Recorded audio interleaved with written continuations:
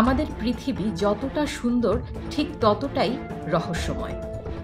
রহস্যময় পৃথিবীর কিছু স্থান আছে, যেগুলো সম্পর্কে এখনও পুরোপুরি তথ্য পাননি বিজ্ঞানীরা। তবে বিজ্ঞানীরা সবসময় চেষ্টায় আছে এই স্থানগুলোর রহস্য উদ্ঘাটনে।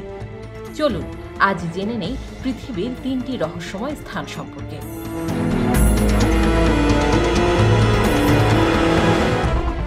ডোর টু হেল তুর্কমেনিস্তান তুর্কমেনিস্তানের কারাকুম মরুভূমির মধ্য অবস্থিত দোয়াজ গ্রামে। এই গ্রামে একটা গর্ত রয়েছে যেখানে সাতচল্লিশ বছর ধরে আগুন জ্বলছে। পৃথিবীর মানুষের কাছে নরকের দরজা হিসেবে পরিচিত এই গর্ত। আসলে এই গর্ত প্রাকৃতিক গ্যাস সমৃদ্ধ স্থান। উনিশশো একাত্তর সালে সোভিয়েত বিজ্ঞানীরা এই অঞ্চলে প্রাকৃতিক সম্পদের খোঁজে এসেছিলেন। দোয়াজ গ্রামে খনন করার সিদ্ধান্ত নেন তারা। খনন শুরুর কিছু সময় পর উপরের অংশ ভেঙে পড়ে যায় এবং বিশাল গর্ত সৃষ্টি হয়, যা দুইশো ফুট চওড়া, ছেষট্টি ফুট গভীর। ফলে প্রচুর পরিমাণ মিথেন গ্যাস বের হতে থাকে, যা মানুষ এবং প্রকৃতি উভয়ের জন্য ক্ষতিকর। এই আউটপুট বন্ধ করা প্রয়োজন ছিল, তাই বিজ্ঞানীরা এই গর্তে আগুন লাগিয়ে দিয়েছিল।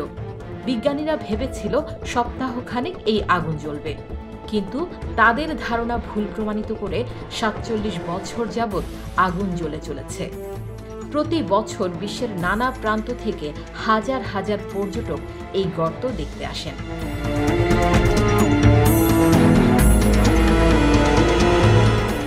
Mir mine Siberia. সাইবেরিয়াতে অবস্থিত মির মাইন একসময় বিশ্বের সব থেকে বড় হীরার খনি ছিল।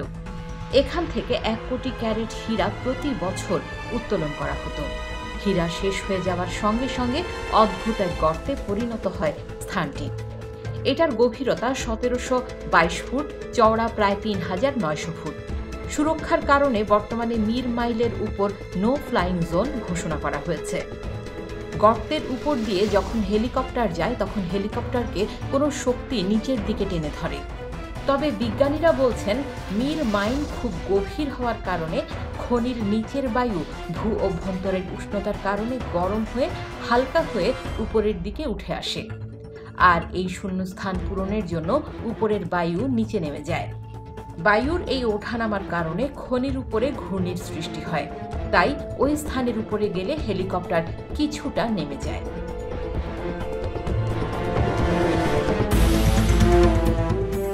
স্টার দ্বীপ চিলি। পূর্ব প্রশান্ত মহাসাগরে অবস্থিত এই দ্বীপে মানুষের মতো দেখতে মূর্তির জন্য খুবই বিখ্যাত। এই মূর্তিগুলো বারো ফুট থেকে তেত্রিশ ফুট পর্যন্ত লম্বা। মূর্তিগুলোর শরীরের বেশিরভাগ অংশ মাটির নিচে। শুধুমাত্র মাথা ও বুকের কিছু অংশ মাটির উপরে। চিলির মূল ভূখণ্ড থেকে পঁয়ত্রিশশো কিলোমিটার দূরে প্রশান্ত মহাসাগরে অবস্থিত এই দ্বীপে প্রায় এক হাজার মূর্তি রয়েছে। মূর্তিগুলো পাথর কেটে তৈরি করা হয়েছিল। সাতটি বৃহৎ আকারের মূর্তি এই দ্বীপের মূল আকর্ষণ। এগুলোকে নেভাল অব দ্য ওয়ার্ল্ড বলা হয়। উনিশশো সালে ইউনেস্কো এই দ্বীপকে ওয়ার্ল্ড হেরিটেজ সাইটে অন্তর্ভুক্ত করেছে। তবে এই নির্জন দ্বীপে কারা কি উদ্দেশ্যে এই মূর্তিগুলি স্থাপন করেছিল তা আজও জানা যায়নি।